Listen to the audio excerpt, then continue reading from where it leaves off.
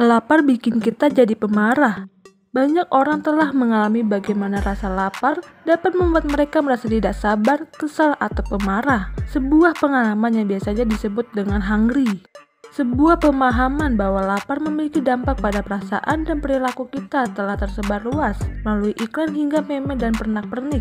Tapi secara mengejutkan, hanya sedikit penelitian yang mencoba menyelidiki bagaimana perasaan lapar berubah menjadi perasaan hungry.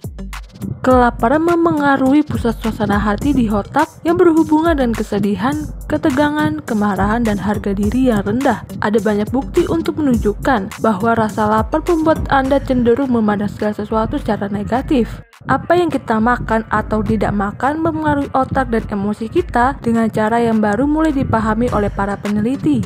Beberapa penelitian termasuk yang kecil dari Inggris menemukan bahwa rasa lapar di perut berhubungan dengan perasaan negatif.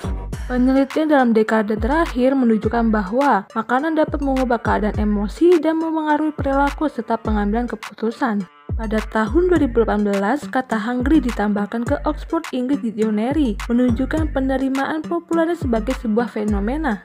Melansir The Washington Post, ilmu baru tentang gantungan baju dan otak yang ditelusuri dalam buku Eat and Flourish menunjukkan bahwa makanan dan kesejahteraan emosional saling terkait erat.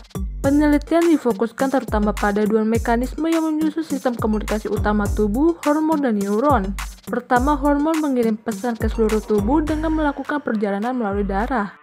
Hanger dapat terjadi sebagian karena rasa lapar sering kali bersamaan dengan penurunan glukosa yang dapat menyebabkan perubahan hormonal dalam tubuh yang mempengaruhi fungsi otak. Cara yang kedua menunjukkan gantungan dapat terjadi melalui neuron, di mana sel-sel khusus di seluruh tubuh yang berkomunikasi satu sama lain.